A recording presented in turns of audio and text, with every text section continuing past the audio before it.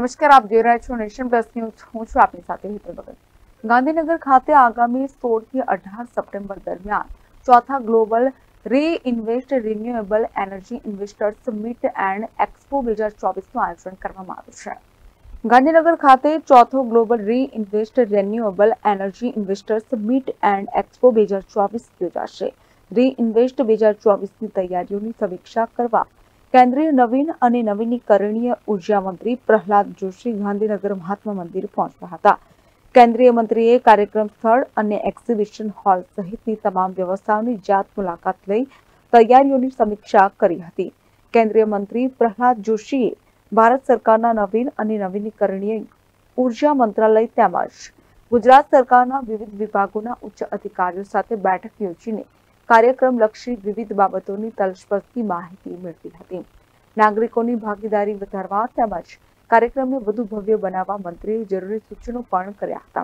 કેન્દ્રીય મંત્રીની મુલાકાત દરમિયાન ભારત સરકારના નવીન અને નવીનીકરણીય ઊર્જા મંત્રાલયના સચિવ ભૂપિન્દરસિંહ ભલ્લા તેમજ ગુજરાત સરકારના ઊર્જા અને પેટ્રોકેમિકલ્સ વિભાગના અધિક મુખ્ય સચિવ એસ જે હૈદર ઉપરાંત જીયુવીએનએલના મેનેજિંગ ડિરેક્ટર जयप्रकाश शिवहरे उपस्थित रहा था गुजरात के बारे में कहा जाता है हर बार जो वाइब्रेंट गुजरात का समिट होता है पहले से अच्छा ही होता है तो इसीलिए जब दस हजार लोग दिल्ली में भाग लिए थे इससे पहले जो इन्वेस्टर मीट हुआ था जब हम गुजरात में कर रहे हैं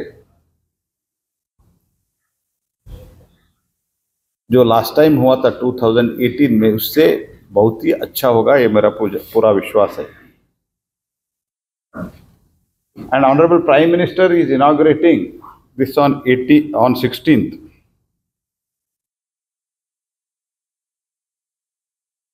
sixteen सुबह वो उद्घाटन करेंगे। इसमें उसके बाद 40 सेशंस होंगे।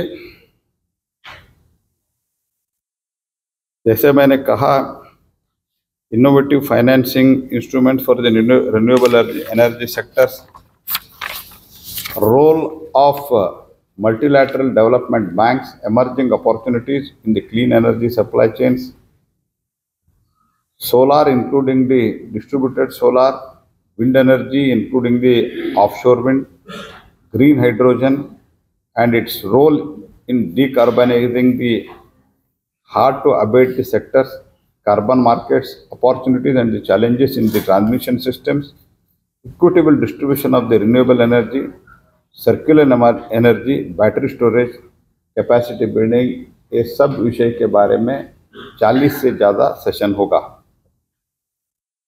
एक स्पेशल सेशन भी होगा वो वो स्पेशल सेशन है on women's as a leader in accelerating energy transition challenges and opportunity इसके बारे में भी एक सेपरेट सेशन होगा। और एक स्टार्टअप के बारे में भी एक स्पेशल सेशन होगा।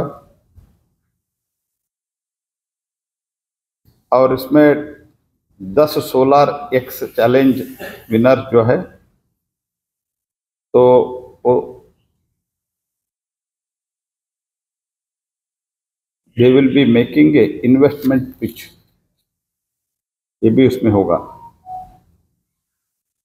ऑलरेडी क्विज चल रहा है रिन्यूएबल एनर्जी के विषय के बारे में। तो इधर इधर भी एक क्विज सेशन होगा।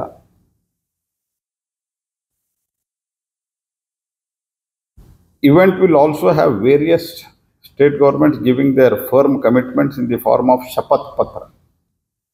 हमने सभी स्टेट गवर्नमेंट को, स्टेक होल्डर्स को बैंकर्स को ये कहा है शपथ पत्र। कितने आप फाइनेंसिंग करेंगे रिन्यूएबल एनर्जी में? रिन्यूएबल एनर्जी कितने कैपेसिटी बढ़ाएँगे? आने से पहले जो राज्यों के मुख्यमंत्री वगैरह, पार्टी मंत्री वगैरह पार्टिसिपेट कर रहे हैं, राज्य के डेलीगेशन पार्टिसिपेट कर रहे हैं बैंक के अधिकारी पार्टिसिपेट कर रहे फाइनेंस मिनिस्ट्री के बैंक के संबंधित अधिकारी जो पार्टिसिपेट कर रहे हैं, उन सब लोगों से हमारा बातचीत हुआ है। We have asked them to bring shapat patra commitment letters बोलते हमको डिले हुआ है तो हमारा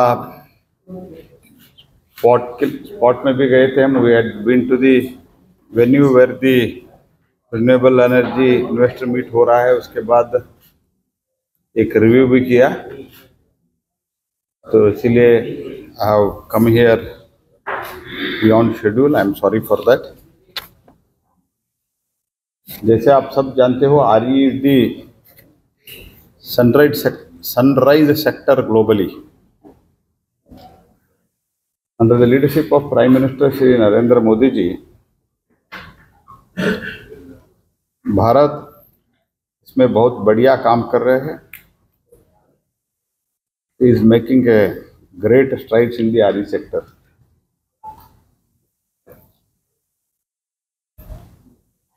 तो इंडिया का जो माननीय प्रधानमंत्री जी ने कॉप 26 में पंचामृत के बारे में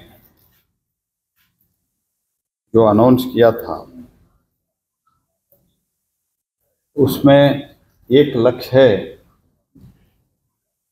to achieve 500 gigawatt from non non fossil fossil fuels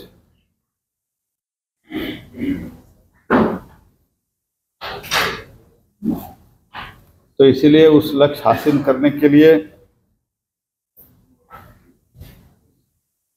प्रधानमंत्री जी का जो कॉल है reform perform and transform and recently has also to inform लोगों को जो हो रहा है उसके बारे में इंफॉर्मेशन देने के लिए भी उन्होंने कहा है।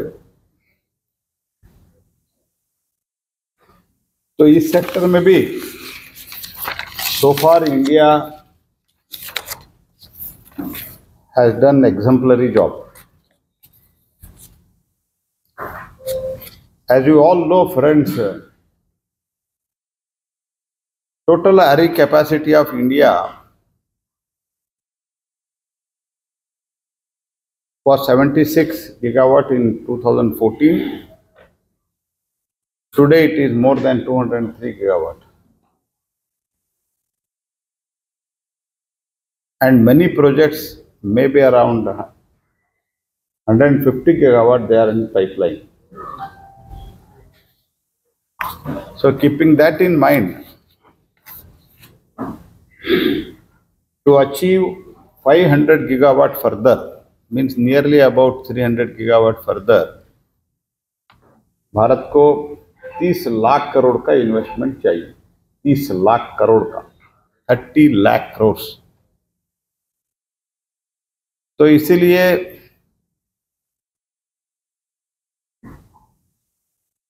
हमने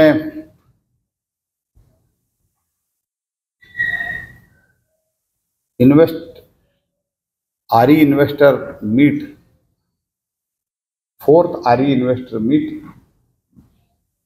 Mahatma Mandir में सिक्सटीन सेवनटीन एटीन को कर रहे हैं Janak Patel nation plus news Gandhinagar સમાચારોના સતત અપડેટ મેળવવા માટે અમારી નેશન પ્લસ ન્યૂઝની યુટ્યુબ ચેનલને સબસ્ક્રાઇબ કરો બેલ આઇકન દબાવો અને જોડાયેલા રહો ફેસબુક ઇન્સ્ટાગ્રામ અને ટ્વિટર પર